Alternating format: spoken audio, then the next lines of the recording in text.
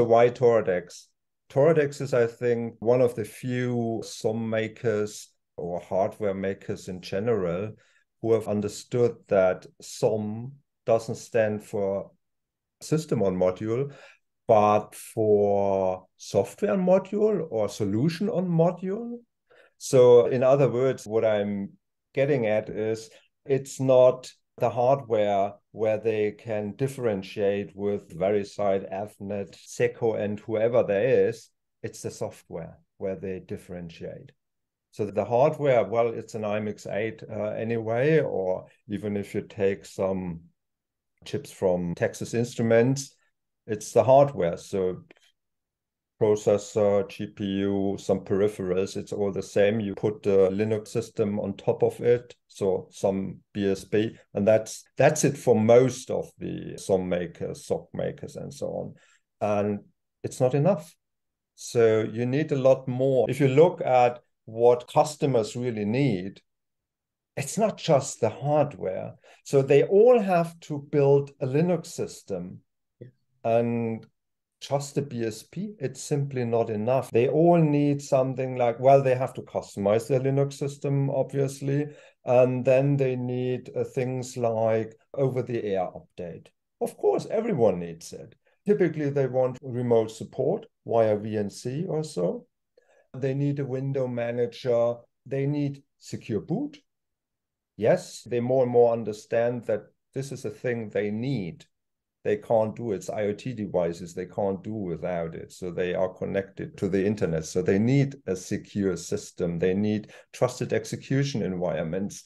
They need a communication between the microcontroller and the microprocessor on their boards.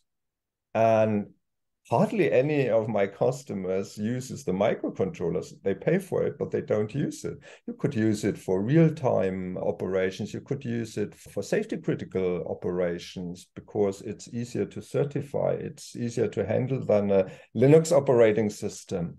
So that's some standard building blocks every customer needs and they don't get it from the some soc makers terminal makers Okay. They just get a very rudimentary Linux image.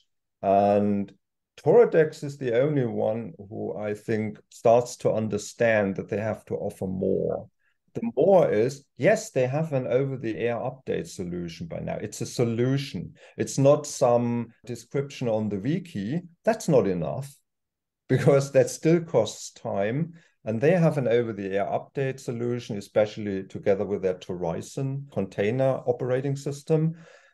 Yeah, they can even update the bootloader.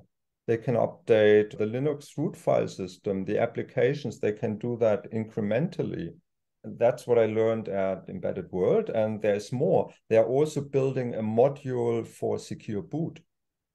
It takes a lot of time to get that working and they are aiming at building a, a module that works out of the box.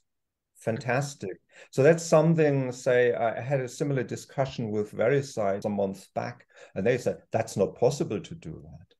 Well they will be proven wrong it's possible. There must be a lot more than that. And Toradex has understood it. I think they have the luck of being a newcomer. They have to get into the market and try to gain market share from the incumbents. That's what they have understood. It's a solution they are providing. So the customers, the OEMs, say construction machine makers, agricultural machine makers, car makers, and so on, they don't have to do that over and over again they just get it. And then they can focus on implementing their core application, like an infotainment system or on the driver terminal of, a, of an excavator or a harvester. That's their core business. It's not building Linux systems and all the standard building blocks they need.